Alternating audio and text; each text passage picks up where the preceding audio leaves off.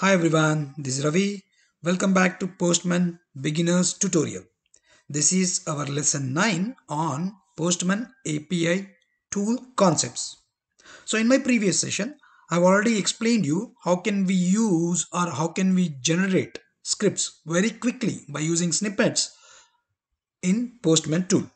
So this is a part 2 of our previous lesson. So I would recommend you guys to go through that video before you watch this session. So in this session, I'm going to cover the topics related to tests. That means how can we automate the test cases, API test cases by using Postman or how can we perform testing of API requests by using Postman and how can we use the module called tests in Postman.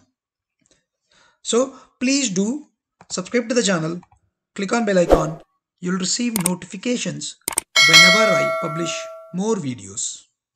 Thank you. So in this lesson, I'm going to cover what are tests in Postman and how can we create tests at API request level and how can you create tests at collection level and also how can we create tests at folder level and then I'm going to teach you how can we analyze the test results that you have automated. Okay, so now let's jump onto the system and see how can we perform all these actions by using Postman tool. Okay, so this is uh, my Postman tool. Okay, so if you remember in my previous session, I have explained you about your pre-request scripts how do we create pre-request scripts by using snippets, right? So in this lesson, I'm going to concentrate on. So basically, we are going to use the same operations. The first operation, first service is get users list, which is going to get give me the entire list of users. Okay. In the same way, I'm going to use a single user request. That means this particular uh, this particular URL, this particular request brings you the details of user, single user, details of this single user. Okay, so that's what I'm gonna teach you. Let me just make sure that. Okay, so do one thing. Let me do one thing. Okay, so let me send this and then you're going to get the response here immediately. See, you got the response. That means I enter id3 then it's going to give me the details of user id3 okay? So now in this lesson i'm going to teach you about the tab called tests. In postman you have a tab called tests. Why do we use tests? The tests the script whatever you write under tests tab will be executing after the request has been executed. That means as soon as I send this request, the first request will be executed. I'm going to get the response and then your script in tests will be executed. That means if I want to validate the response, let's assume I want to validate whether the email ID is Michael or not, right?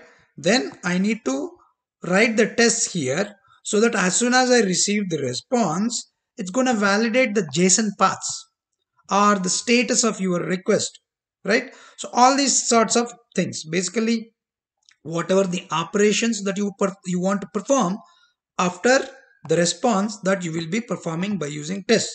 Okay.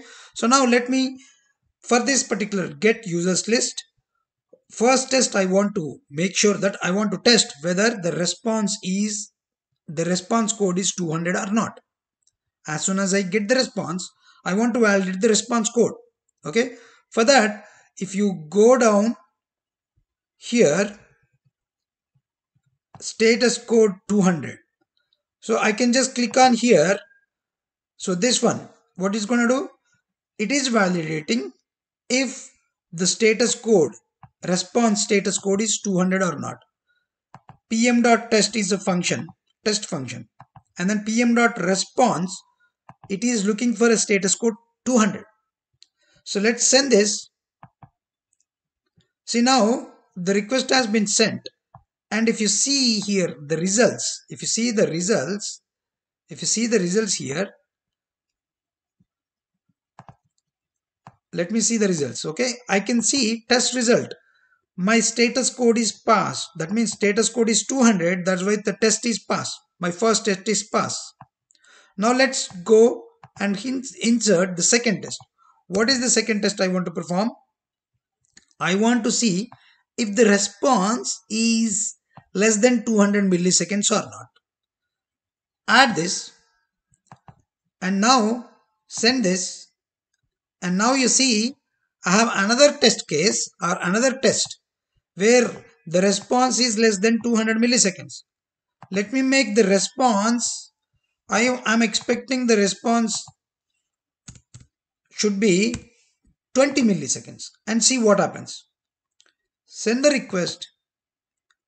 If you see my response is below 20 milliseconds which is wrong. That means my test is fail. My performance of the request is not less than or not less than or equal to 20 milliseconds. But if I make it as 200 milliseconds, yes, the response is less than 200 milliseconds. Okay, done. And let's assume, so let me explain one quick scenario here. Okay, so whenever I am sending a request, I'm getting a response. See, I'm getting response here. I want to store ID. I'm getting ID of my first user. My first user ID is 7. I want to store this value and the same ID I would like to send in the subsequent request message which is for single user.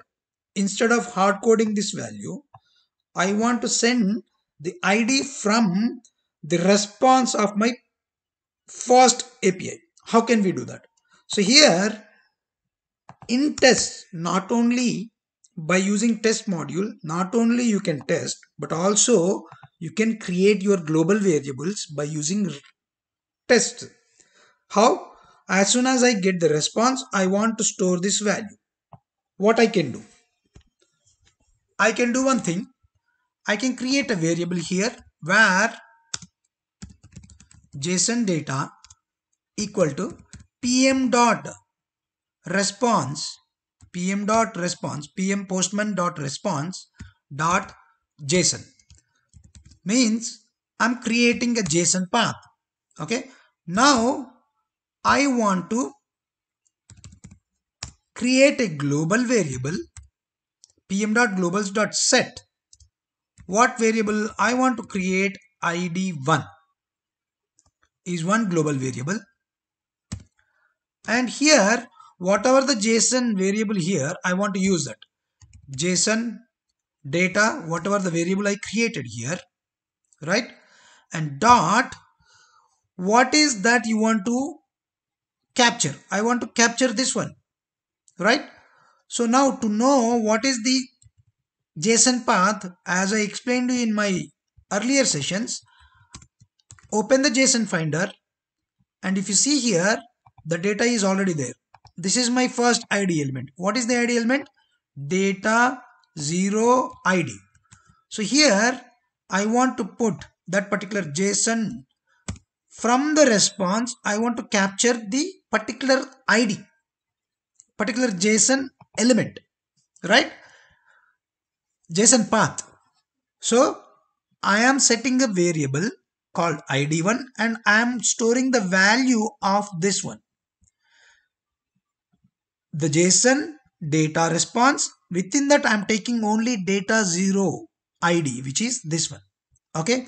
So now if I go to environment variables, sorry, the global variables, let me go to global variables. You don't see id1 variable. Now when I run this request now First, it's going to send the request and then it's going to get the response and it's going to validate the status code 200 and then it's going to validate the response within 200 milliseconds and then it's going to create id1 global variable and it's going to store the value. Now let's go back to in because i already executed. Go to environments globals. Now if you see id1 global variable is created and the value is 7 done. Now in get single user I want to instead of hard coding here I want to use the global variable. See if you see here there is a global variable id1 right?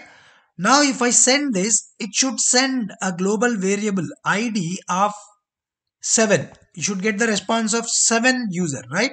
Send it. See you are getting the 7 user response. Now I want to validate whether I am getting the 7 as a response or not right? See when I send this request I don't know what ID has been sent.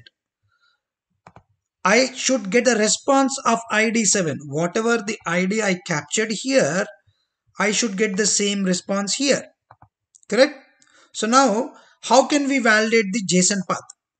So by using tests you can insert a new test called JSON value check this one. And here the JSON value what is the value? I want to take the JSON path. Copy this and paste it here. Take the JSON path. So this is my JSON path. And put the JSON path here. Done. And send it now. As soon as you send it now you can see the result. You can see the result here. Okay let me see the result see the result is it says expected. Okay. Here what is the expected expected value? I am expecting 7 right? Now send it. See now your test is passed. that means whatever the response i got is matching with the expected result. Now let's assume let's assume i want to capture the element of 2 that means which is 8 okay? I want to capture. For that I want to change it to 1 okay? Sorry I, will do one thing. Okay? Let me do one thing. Let me just copy this. Let me insert another let me create another variable. Variable called 2 and here in this time 1 data set 1 that means it's going to store 8 okay? Let me send this now so if we go to environments, I should see a new variable called id2 and the value called 8.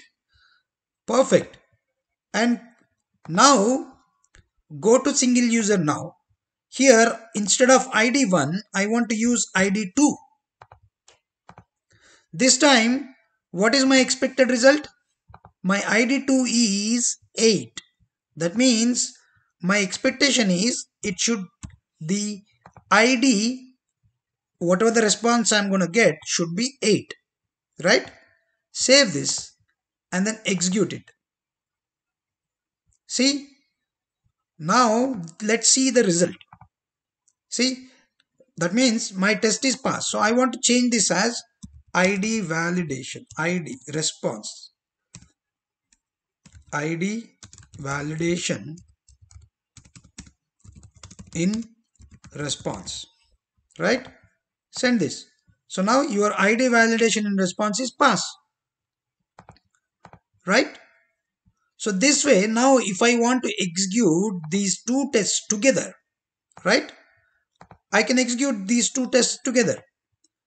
So let me just save. I want to just close all the tabs to avoid confusion. Okay. So now I want to run these two tests together.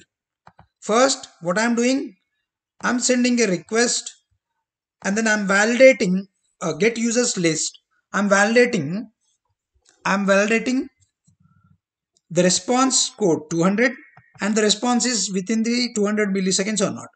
And then I'm storing the ID of user from the response. I'm storing that into a global variable. And the same global variable I'm using here. And then I'm testing whether the response ID is correct or not in the second single user request message. Now I'm going to execute all these together. Run these two, run collection. If you see here, my first get users list. First test case is pass, second test is pass, right? And then your status code is 200. And what about the single user? The single user, see if you see all the tests are passed. For the single user, I am getting the correct ID response, right? So this way you can easily automate your API request test cases to validate the response messages. So hope you all understand the difference between pre-request script which I explained in my previous session and your tests right? Now if I want to see instead of defining all these tests here I can define all these tests at folder level as well. If you go to folders you can find the tests here and then you can perform the same tests here at the folder level as well. And also you can define these tests at collection level as well. If you this is my collection. Under collection i have these two folders right which i created in in my previous sessions. At collection level also you can perform these validations. If you want to perform these validations okay? At collection level at folder level at request level okay hope you all understand it's really really very important concept because whenever you execute any API request it is must to validate your response whether the response validation is correct or not whether the response is properly I have received the response correctly or not. So that is your responsibility to validate right? Hope you all understand the concept very well I'm going to cover more uh, technical concepts in further videos. Stay tuned and please do subscribe to the channel. Click on bell icon. You'll receive notifications whenever I publish more videos. Thank you.